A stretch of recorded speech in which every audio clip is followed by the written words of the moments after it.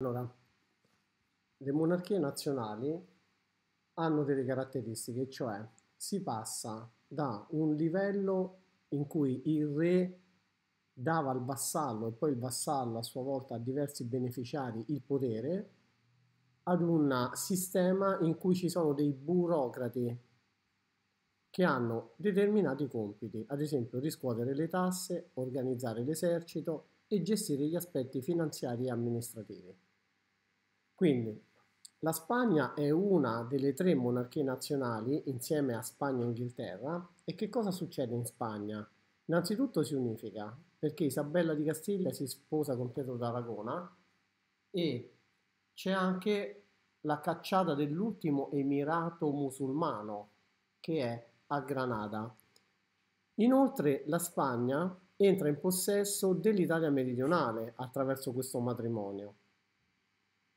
Quindi quando avviene questa riunificazione della Spagna possiamo dire che le tre principali monarchie nazionali erano Francia, Spagna e Inghilterra.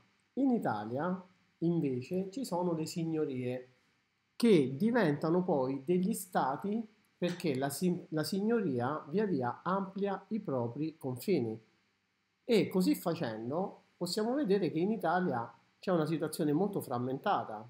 Allora c'è il Ducato di Milano il Ducato di Savoia in Piemonte, la Repubblica di Venezia, poi la Repubblica di Genova, Firenze, il comune di Firenze, lo Stato della Chiesa e poi c'è il Regno di Napoli, che è in mano alla Spagna, dove c'è tutta la parte della Campania e della Puglia, della Sicilia, tutta l'Italia meridionale. Nel 1516 poi la Germania che si chiamava all'epoca Sacro Romano Impero Germanico, che cosa fa?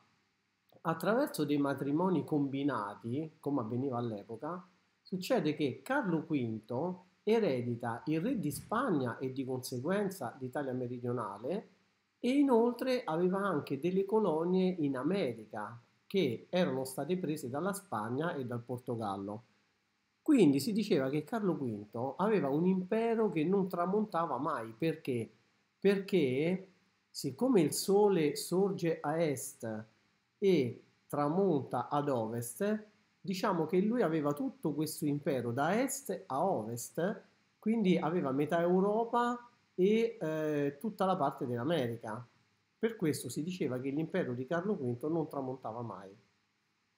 Però, essendo così vasto, è chiaro che l'impero è molto difficile da gestire perché ha molti territori da eh, controllare. E inoltre, proprio perché i nemici attaccano nei confini, Carlo V deve fronteggiare una lotta contro i turchi che minacciano di insediarsi in Europa. Deve fronteggiare delle guerre in Italia per mantenere i possedimenti e inoltre possiamo vedere che c'è anche un problema che deve affrontare Carlo V, che è la spaccatura religiosa dell'Europa a causa della riforma protestante. Ma nonostante questo, Carlo V deve anche ampliare, vuole ampliare i possedimenti in Italia. Lo Stato che cambia dal punto di vista politico, ma cambia anche dal punto di vista economico, cioè nasce lo Stato moderno. Quali sono le caratteristiche? Allora, abbiamo detto innanzitutto che, ehm, diciamo, ovviamente nasce lo Stato moderno, questo è il punto di vista politico, questo è il punto di vista economico. Cambia da questi due punti di vista. Abbiamo detto che le caratteristiche delle monarchie nazionali sono il fatto che ci sono delle, dei burocrati che svolgono delle funzioni, ma la seconda caratteristica è che gli stati hanno dei confini ben definiti, che sono questi, che si difendono attraverso un esercito permanente. E questo dell'esercito permanente è una grande novità, perché l'esercito non serve solo per difendersi, ma in questo caso possiamo vedere che l'esercito è utilizzato anche per aumentare, ampliare i propri confini. E a proposito dell'esercito, terzo punto, L'esercito è costituito da professionisti addestrati, quindi non si forma solo in caso di guerra, ma c'è anche in caso di pace. Quindi, mentre prima diciamo che l'esercito veniva formato nel momento del bisogno, adesso ci sono proprio degli stipendiati. Infine, possiamo vedere che lo Stato passa da una persona all'altra per vie ereditarie. Queste sono un po' le caratteristiche de, delle monarchie nazionali. Una quinta caratteristica della monarchia nazionale, cioè lo Stato moderno che si forma eh, in Europa, sta nel fatto che in Europa occidentale si forma lo Stato moderno. Invece, che cosa succede? Che nell'Europa orientale, invece, continua ancora la monarchia feudale. Quindi il sovrano in Europa orientale accentra il potere nelle proprie mani e la nobiltà quindi non ha alcun potere in questa parte orientale e il sovrano, sempre nella parte orientale, non riesce più di tanto ad accentrare il potere nelle proprie mani e quindi la nobiltà continua ad avere parecchio potere.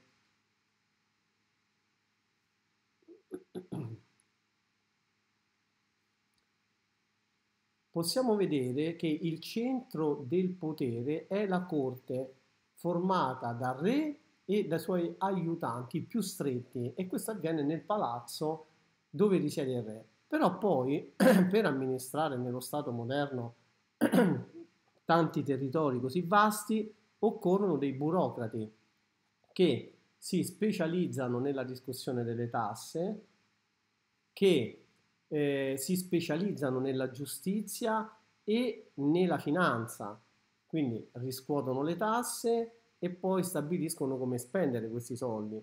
Questi funzionari pubblici venivano proprio forna- formati all'interno delle università e provenivano ovviamente dalla nobiltà.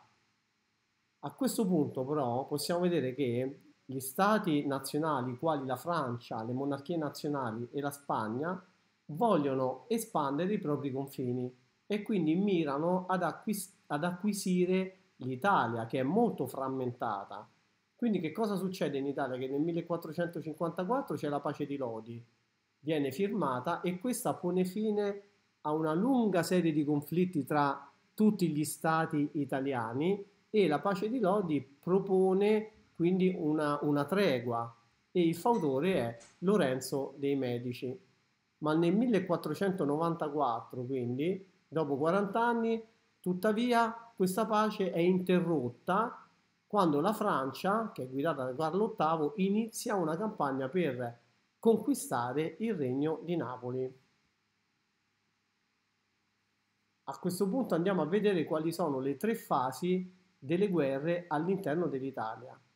Allora, la prima fase, che va dal 1494 al 1516, finisce con la pace di Noyon e assegna il Ducato di Milano, che è questa parte qui su, alla Francia, mentre il Regno di Napoli continua ad essere sotto il controllo della Spagna.